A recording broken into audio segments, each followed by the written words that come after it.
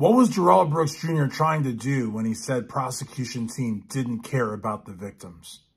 How's it going, everyone? You're watching Everything Else Channel on YouTube, everythingelseChannel.com. If at any point in time you like the video, please give it a thumbs up.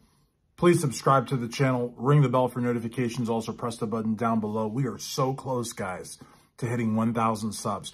We are 48 subscribers away from hitting that milestone. So please, if you're watching this and you haven't subscribed, please subscribe and please leave a comment down below.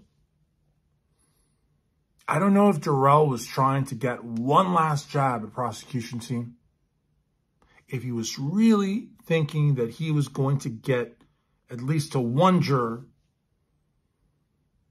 if he was trying to tick off Judge Dorow, if he was speaking to the media, speaking to the viewers. I don't know what he was trying to do. But you could see the faces on prosecution team. They weren't amused. They were incredulous. How, what was this idiot talking about now?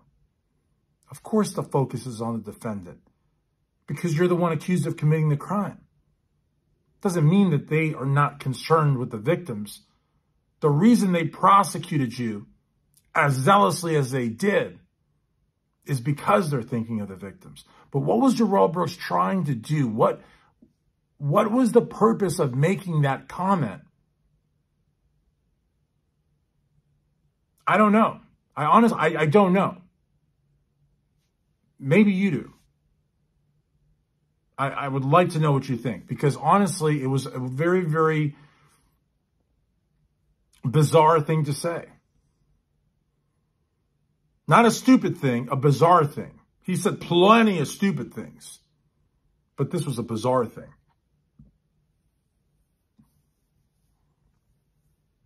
And usually, even the stupid things that he said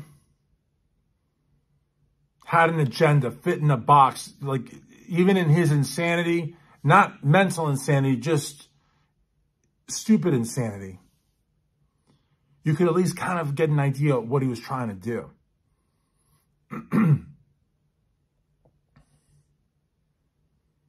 but this is such an irrational statement from him.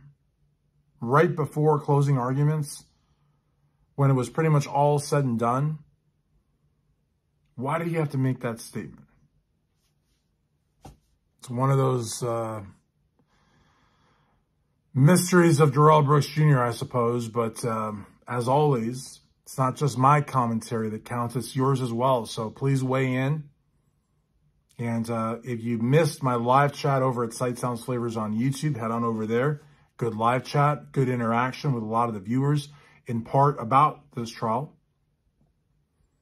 And once again, if you're watching this video, I would really appreciate it if you subscribe to Everything Else channel on YouTube. Get us to that 1,000, guys, so we can do live chats, more polls, more videos, just more everything.